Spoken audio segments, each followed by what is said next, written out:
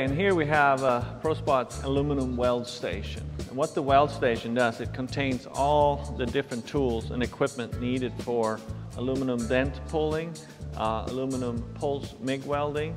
In this station we have a utility panel.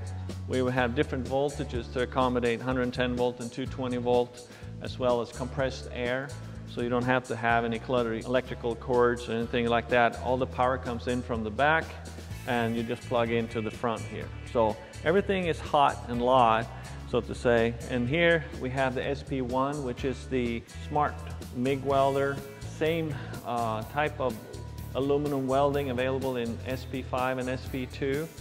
And it's just a smaller version of it, so it fits into the weld station nicely and it only, only contains one spool. Also we have the, the AL5 which is a capacitor discharge welder that is used for welding the aluminum studs on to the, uh, the dent for use for dent pulling.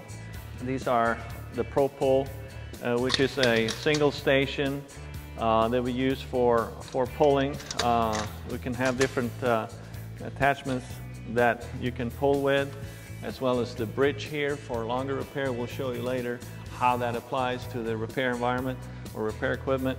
We have different hammers that are made out of aluminum that we actually make in-house here at ProSpot.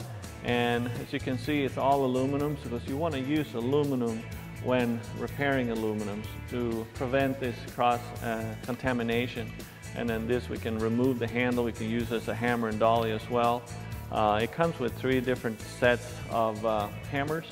Has a nice and easy storage place for it. It has a heat gun as well, so we can heat the aluminum, uh, preheat it. We use, it comes with a laser uh, measuring device for measuring temperature to prevent overheating of the aluminum, etc and it has some accessories and, and uh, a grinding disc as well available here in the drawer. For the MIG welder, you install the gas bottle in the back. We have a built-in gas bottle bracket.